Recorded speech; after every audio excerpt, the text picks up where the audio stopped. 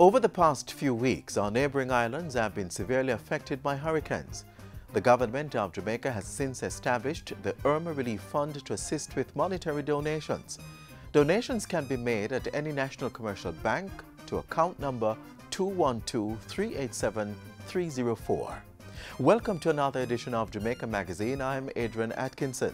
Coming up on the pages today, DCP Novlet Grant discusses the impact that the iPad for Life program has been having on our youth. Then later, a look at the benefits of fish in our diet. Stay tuned for more as the magazine unfolds.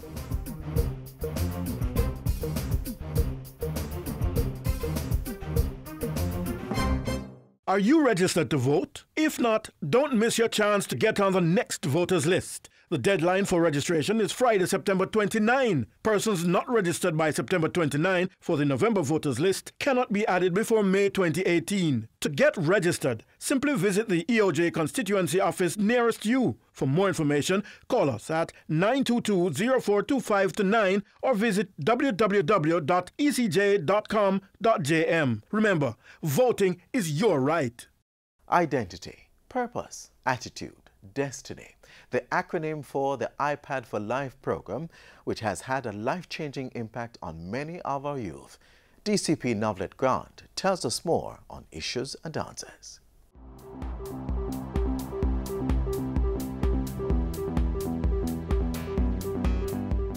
Thanks for joining us for Issues and Answers. I'm Ian Boyne. The Jamaica Constabulary Force is involved in much more than crime fighting, narrowly defined it is also involved in a lot of the, the, the soft aspects of uh, security, um, building up people's self-esteem, particularly the self-esteem of youth. There's a very exciting program that JCF has, the Youth Empowerment and uh, Mentorship Program, otherwise called the iPad uh, program. Mm -hmm. The conceptualizer of this program, Deputy Commissioner of Police Novlet Grant, would tell us what the iPad program is about and the impact that it has been making all over the island. So we, we put the JCF in focus today and show the, the, the multiplicity of, of roles that it plays. We thank you so much for your company. DCP, good to have you on the program. The Youth Empowerment and Mentorship uh, Program is one of the exciting programs that the, the JCF is um, overseeing and I know you work closely with the Community Safety and Security Branch. And you conceptualized this program. Uh, why did you see the need for this, and, and what does this program attempt to do? Thank you very much. Thank you for having me. The, I've always been doing personal development and um, trying to get people to build their self-confidence and self-esteem. And I'd worked with youth programs before. But in 2015, I went to Westmoreland to be the speaker at a valedictory exercise. Uh -huh. And I had a lengthy conversation with the principal. And out of it, I recognized that, you know, we should get back in school and expand our roles in school, not merely to talk about, narrowly talk about safety. And yes. you can't, I, I believe that a safe school begins with the mind safety begins with the mind. Crime prevention begins in the yes, mind. Yes. So if you want to get people to behave in a particular way, you have to get them to address their mindset. Absolutely. And so I offered, you know, just on the spur of the moment, how would you like to have a, a summer camp? Oh. And he said, it's a brilliant idea. So having said that, I felt that it was incumbent on me to, to come and organize um, and, and design what the camp should look like. Um, and I consulted with uh, Inspector Jacqueline Dillon, who used to work with me at Area 5 headquarters, because we had done a lot of camps in, in, in, in Area 5, and they have, that's their role basically, to work with youths.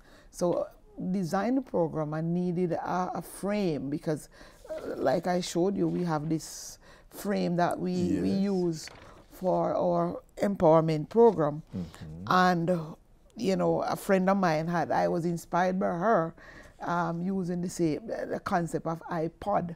So we, we pulled our same, we had the themes here. Oh. So we pulled them together because we iPod. asked. right, but we pulled ours. Oh, yes? Yeah, to, to be iPad. iPad. For life. And tell us what- because because yes. because we, we have been asking you the question, who am I? What is my purpose? Mm-hmm. Yes. What's my attitude? And my destiny, where am I going? So that is it. So when we when So we I is for identity. identity, which is to know myself. Yeah, and P is Is for purpose, purpose. which is to learn and grow. A is attitude, which which uh, the virtues we extol there, uh, respect, kindness, and gratitude, and the D is for destiny, my life path. I see. Where am I going? And so we talk to youths about their hopes, their dreams, their fears, their aspirations. We talk to them about some of the cultural messages that they hear, you know, the kind of labels, the prejudices, the, all of those things that undermine their self esteem. We talk to them about important relationships. The ones that we emphasize really is um, parent and child. Yes. A lot, a lot, because that is a critical one. There are other important relationships that we talk to them about what we really spend a lot on parent and child relationship and relationship with their peers. Um, because within the frame of the narrative is, is helping them to build core life skills. And there are critical core life skills that we think they need to master.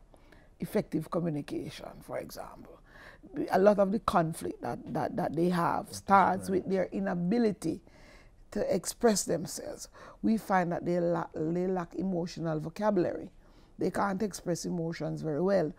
And so it is expressed in terms of physicality Mm, true.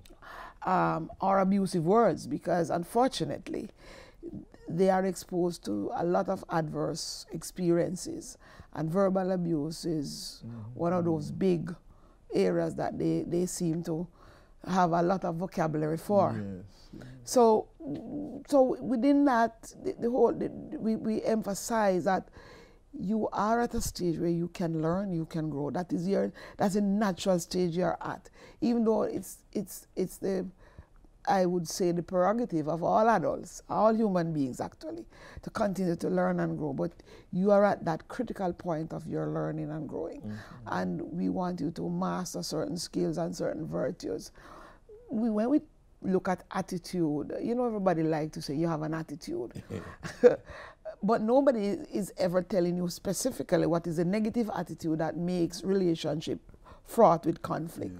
And nobody is ever promoting the kind of attitude that you should, as a youngster, try and adopt and, and, and live by. So we told them, you know what, for you it's respect, kindness, and gratitude. So these are the three The three that we um, emphasize virtues. virtues, Respect, kindness, and gratitude. We emphasize that a lot. And in doing so, we see we start to see almost from day one in the camp, we start to see them showing. They started Yes, demonstrating it. yes, especially Once kindness. taught these things. Yes, mm-hmm. especially kindness. You saw, you know, we see them being kind to each other. We see them re- recognizing the need to show appreciation when somebody does anything for oh, them, oh. to say thank you. We see them looking out for each other in a way that, based on some of the reasons why they are sent to the camp, mm-hmm. you would not expect that from them. But it tells you it's there. Mm-hmm. It, they just need somebody to empower So it them. shows that, that, that these youth are trainable. They are trainable. They are trainable. And That they are not irredeemable. No, and critically, we don't want them to drop out of school. We we are trying to get them to recognize now that you have choices Yes. and decisions to make, even at this young age, and they come with consequences. And so that is the life path that you're setting your foot on. Are you on the right life path? Who are you traveling with? Who are the people influencing you? And we, we put it to them in stark terms that they can understand. So I said to them, You are currently in schoolhouse. From schoolhouse, where are you heading? Mm-hmm. You have two choices for life path schoolhouse, arms house, mm-hmm. dead house, early, sorry, jailhouse, or early dead house. Mm-hmm. That is a life path if you make certain choices. They come with that kind of consequence. But we want you to stay in schoolhouse, mm-hmm. get to know who you are, become a lot more self aware, mm-hmm.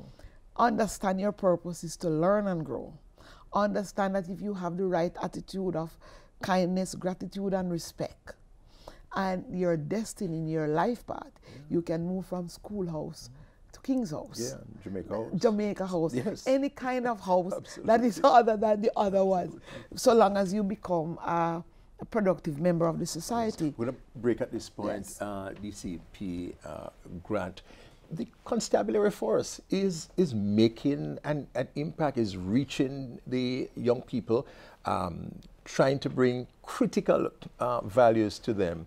The Deputy Commissioner of Police, Novlet Grant, is telling us about one such program that the JCF has, the empowerment and youth empowerment and mentorship program. She has more when we come back from a short break.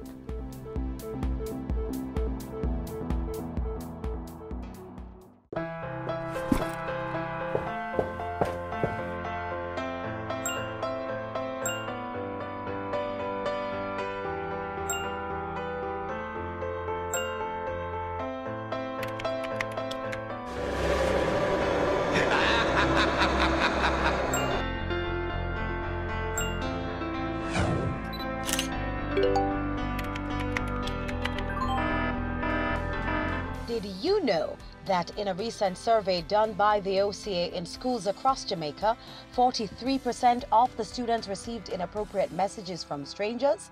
The OCA wants you to be smart online. Never speak to persons you don't know. Parents, encourage your children to be social but be smart. This message was brought to you by the Office of the Children's Advocate with support from UNICEF.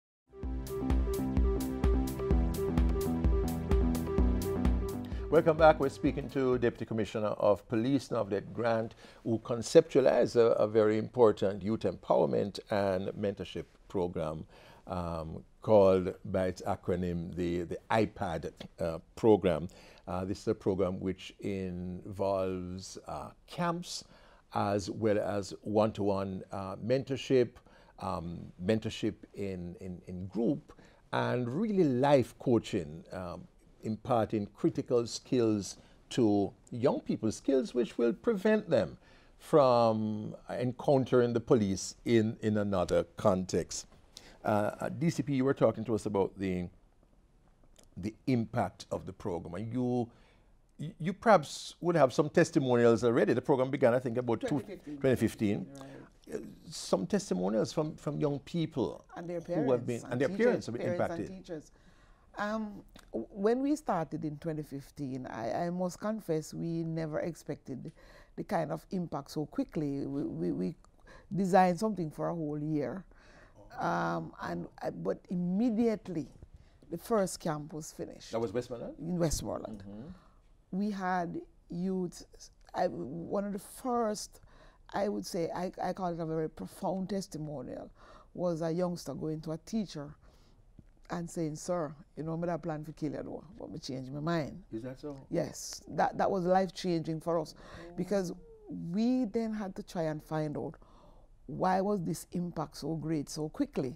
Mm. And we, we so we normally keep up with them. And a lot of them told us, we went back during the school year, and a lot of them told us about becoming a lot more self aware and a lot more conscious of their potential, of their possibilities. They, they change their attitudes towards learning, towards school, towards authority, towards each other.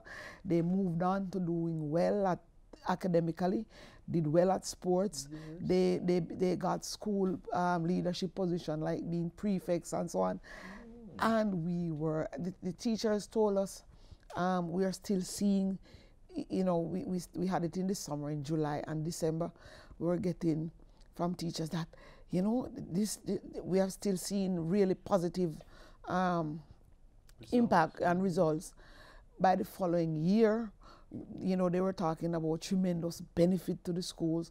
And a number of the, the students who came to the camp, they fulfilled their potential at sports, as I said, in academics. We had a young lady who whose social skills were really low she had a scholarship and went over to the US.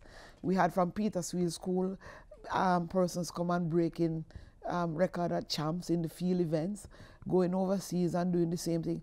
So it, it, it convinced us that we needed to move out of Westmoreland. So this year we went right across the island. Across the island? Yes, we, we, we, we had one in St. James, Westmoreland and St. James. So we had two over in that region. And then we went and combined St. Mary, St. Ann, and Portland and had one. We combined Manchester, Clarendon, and St. Elizabeth, had one, you know, for all of those students. And then we had a combination of um, St. Thomas, St. Andrew, St. Catherine, and Kingston in Browns Hall. That was the last one.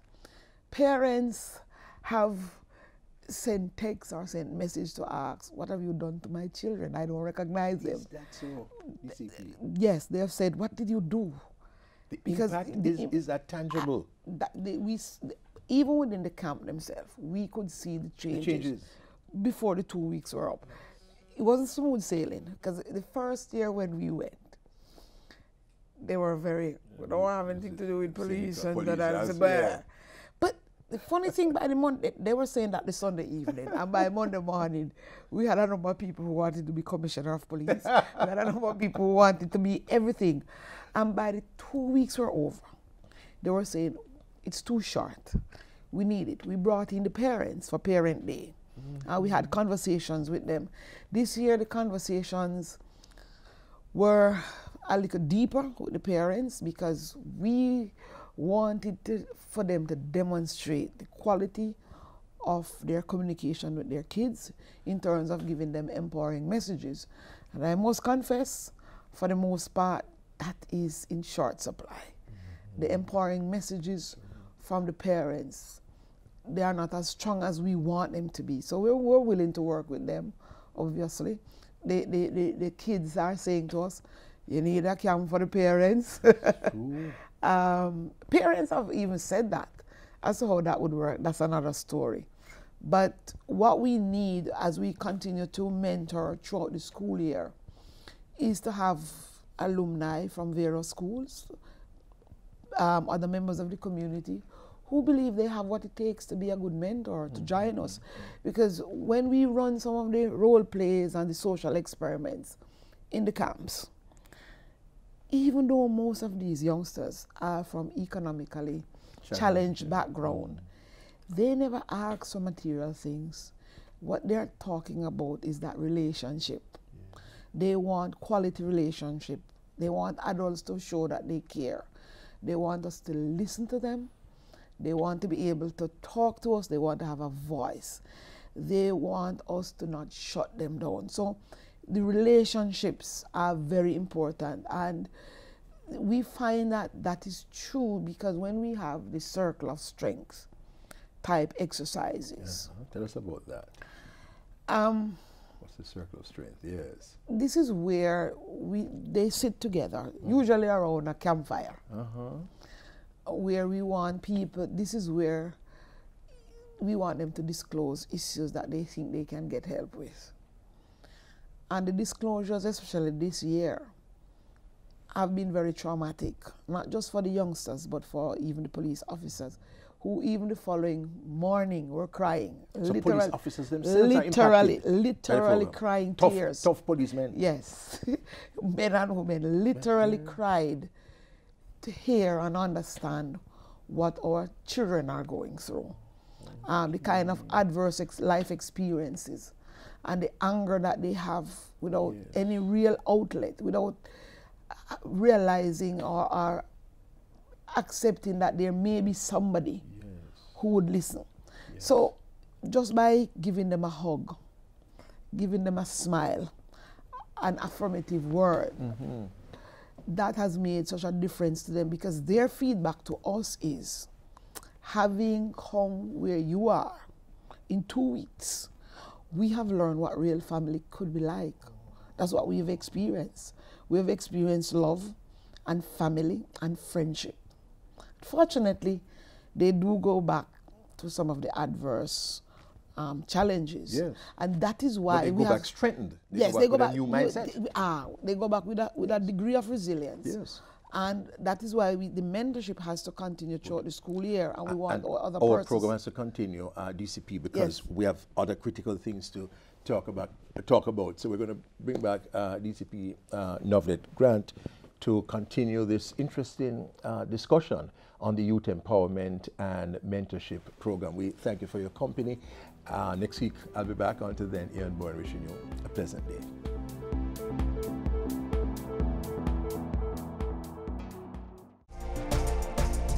Cancer, stress, high blood pressure. Guard yourself against these potentially deadly conditions by eating healthy. Give your body long life with foods such as low fat milk, dried and fresh peas and beans, unsalted nuts and seeds, fresh vegetables, fruits, and coconut water, and eliminate processed seasonings such as seasoning salt, soy sauces, and ketchup. When it comes to meats, remember to remove the skin to reduce the intake of fats and oils. Meats should also be baked, steamed, grilled, or roasted. Fish is also a preferred protein option. To eat healthy, fill your body with a variety of foods from all the food groups. And remember, eat at a slow pace and in small bites to help aid digestion. This helps to maintain a healthy, balanced, and nutritious diet, strengthening your body to ward off illness and prolong life. Have you been maintaining a healthy lifestyle, eating right? A huge part of the Jamaica Move project is ensuring we eat balanced meals. Up next, we zone in on a food rich in protein and minerals, fish. Watch this next feature to learn more.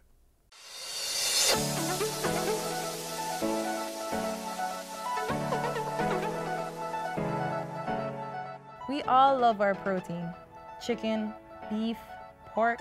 But how often do we eat fish? Is it only at Easter time or when you're at the beach?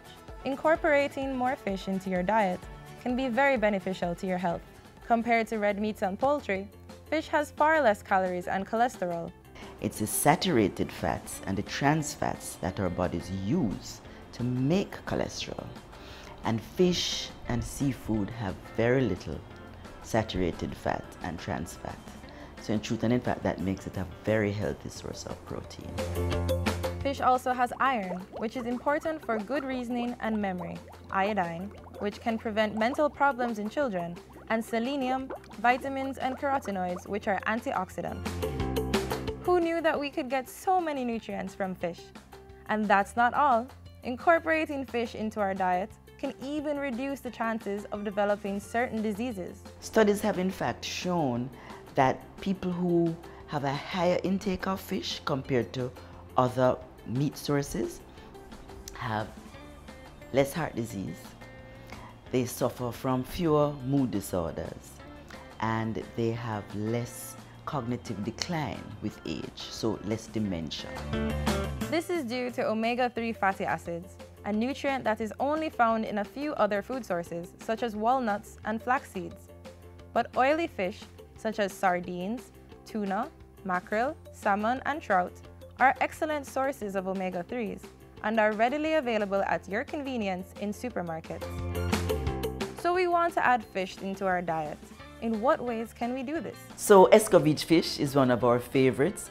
Now the onions and the carrots and the vinegar and the pimento, that's all fine but we don't want to do a lot of deep frying. Deep frying adds calories. Nothing like a nice steamed fish, a nice roast fish. And when you roast your fish, you can stuff it with wonderful vegetables like callaloo and so on. So we have to find other ways. Many of us have broilers as a part of our stove and we've never utilized it. We don't know how it's used. And that gives us, I think, the closest taste to fried without adding a lot of oil. So we've got different styles of cooking the fish, but what about flavor? Jamaicans love adding salt, but fish is already salty. Wouldn't that be too much sodium? If we utilize other things like lime and lemon juice and or fresh seasonings or scotch bonnet pepper or onions or scallion, we can make our fish flavorful without adding a lot of extra sodium. That sounds really tasty, but watch out for bones. Make sure to debone fish before giving your children.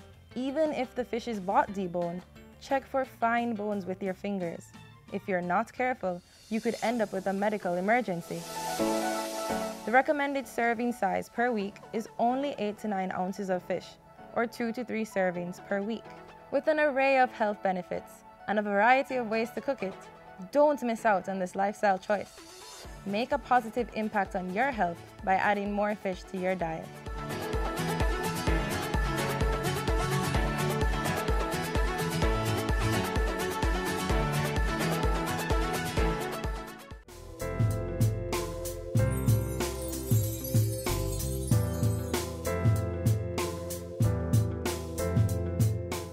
gov.jm launched in August, is the one-stop shop website that allows you to conduct business with government agencies. Take a look.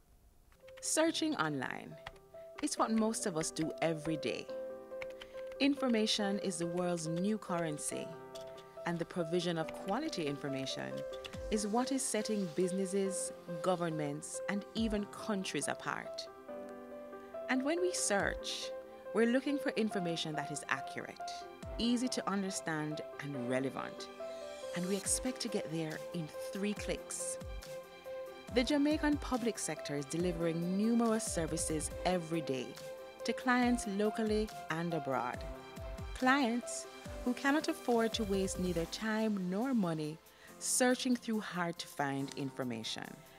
Introducing gov.jm the gateway that will become the single online space for accessing information on government services in a way that is simple and seamless. Through the Public Sector Transformation and Modernization Program, PSTM, Gov.jm is placing the needs of our clients at the center. By placing vast government information in one place, we are making it easier, faster, and simpler for our clients and potential clients to get the information they need when they need it and how they need it. For the potential investor or visitor to Jamaica, the ability to find information easily can make the difference between a decision to invest in Jamaica or somewhere else. To start, we found those everyday services in highest demand, the ones Jamaicans locally and in the diaspora frequently need. We took the services non residents and investors frequently need, and we've started by creating a gateway to those services online. Gov.jm will allow those seeking to do business with government to find what they need faster. Whether you want to know how to apply for a passport, pay taxes online, register a business, or find out your health benefits under the Health Fund program. Information is grouped so that the user knows where to go right away whether he's a resident, non resident, or an investor. And this is the kind of information, the kind of service that will gain Jamaica international rankings for e government. We're still at the early stages. The Gateway currently now indexes some of the services available online and provides clear navigation to them. But gov.jm will never stop evolving. It is the customer feedback about information they need that will guide the evolution of gov.jm. Over time, we'll work to bring more and more services online and create a standard online schema for all government websites. gov.jm, the new gateway to government information and services. The search is over.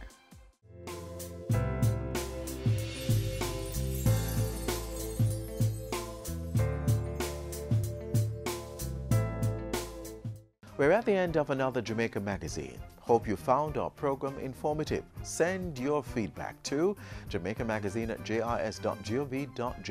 Stay informed on our social media pages, Instagram, Facebook, and Twitter. You can also visit our website, jis.gov.jm for more information. On behalf of the entire production crew, I'm Adrian Atkinson. Thanks for watching.